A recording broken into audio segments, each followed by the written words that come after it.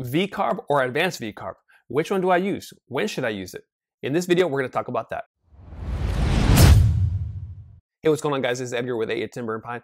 And in this video, we're going to go ahead and continue the custom Jiu-Jitsu flag that we've been working on. As I was preparing for this video, I thought it would be a good idea to talk about the V-carve and the advanced V-carve since I'm using both toolpaths in this particular project. So rather than just showing you the settings and showing you a clip of the carve being done, I figured I'd go a little bit deeper and explain to you why I chose the particular toolpaths that I did. I do want to preface this video and just say that there are a lot of other videos out there that may be a little bit more technical, a little bit more in depth.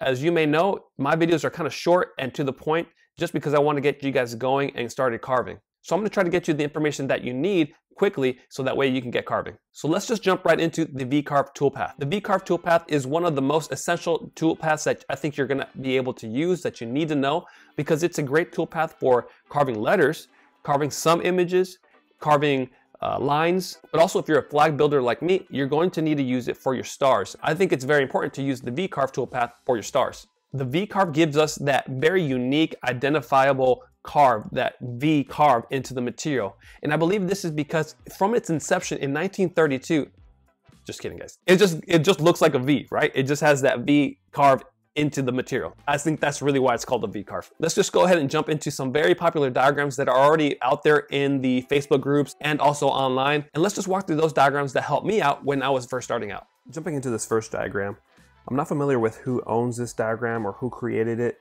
but it is a diagram that is very popular in the Facebook groups and different forums.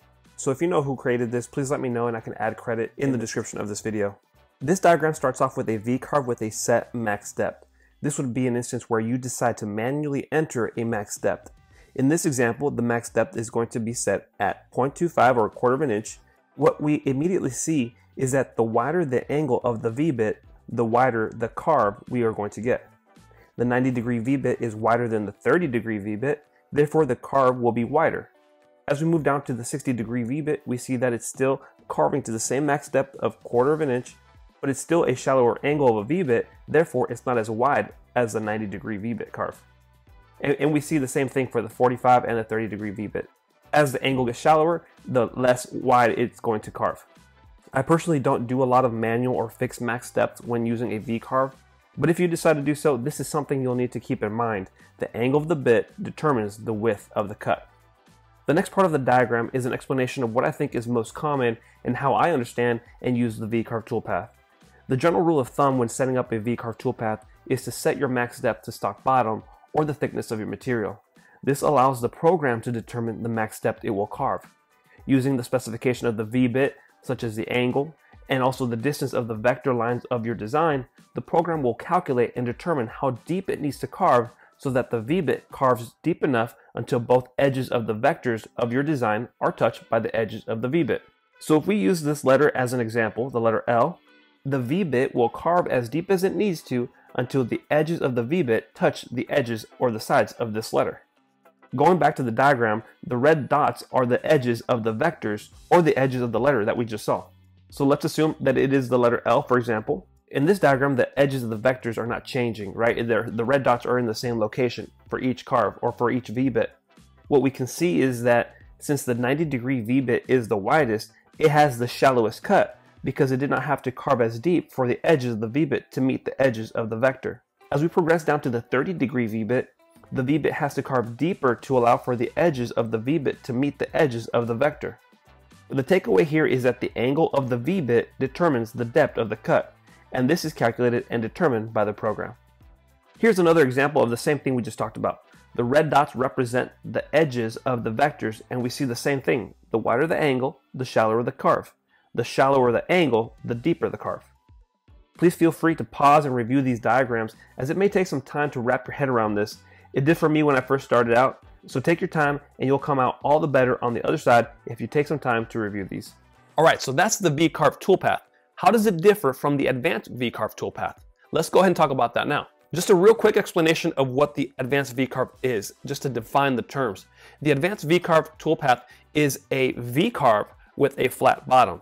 I Create decided to call it the advanced V-carve, while other programs I've seen while I'm looking online it's just the V-carve with the flat bottom selected. While they're setting up toolpaths on these other programs, they're going to select a V-carve toolpath, but there's an option for a flat bottom to be selected. So advanced V-carve and the V-carve with a flat bottom is the exact same thing. Since I'm using Carbide Create and my tutorials are really geared towards Carbide Create users as of right now, we're gonna go ahead and keep calling it Advanced V-carve. The Advanced V-carve, in my opinion, is just a better pocket toolpath.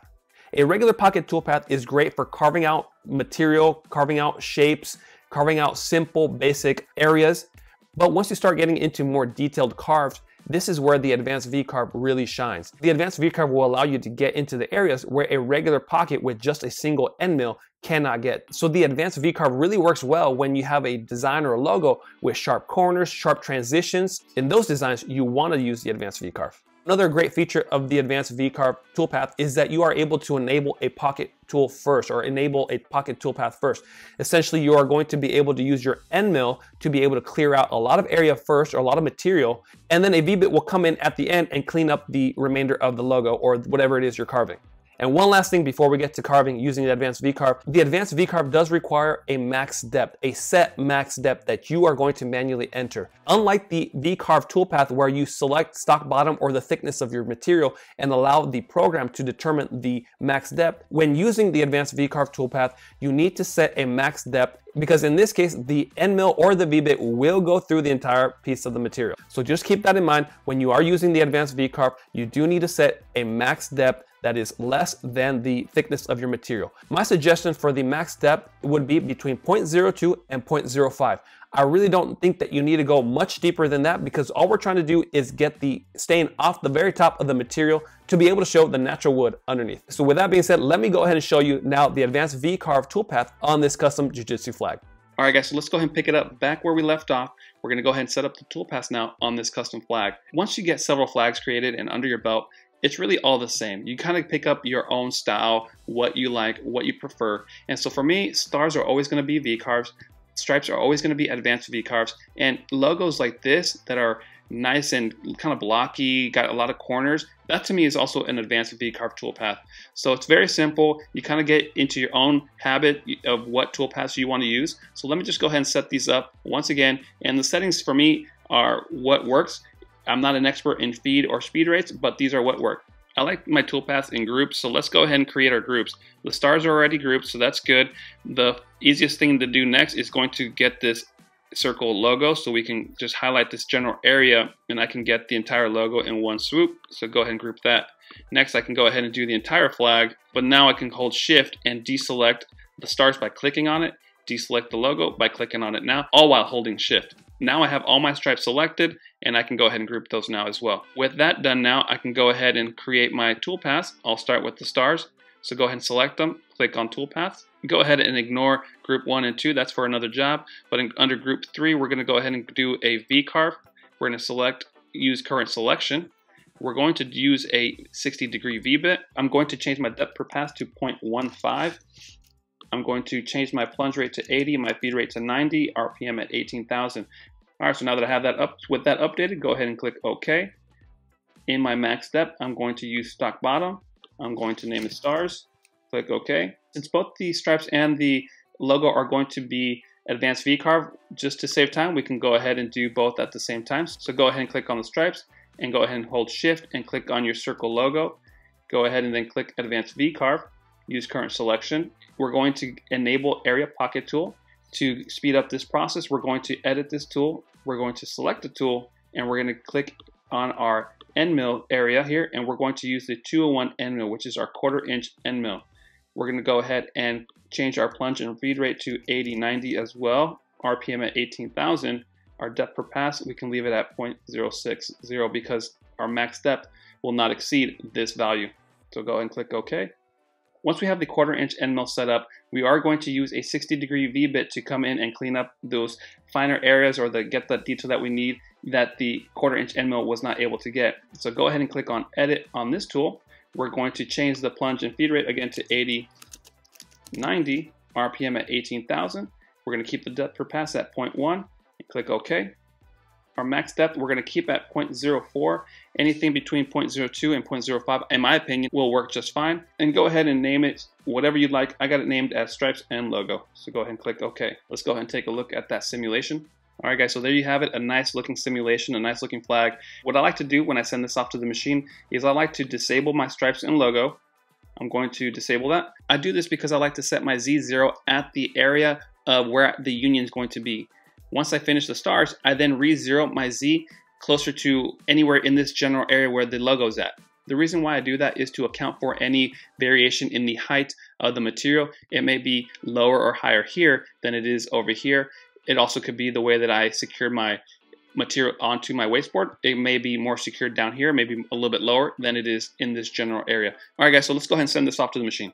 In the following clips, I'm just showing you the VCarve and the advanced VCarve toolpaths that I ran. If you don't want to watch this, go ahead and skip forward to the end. But in this video, I did keep the clips longer so that you can see the actual carves.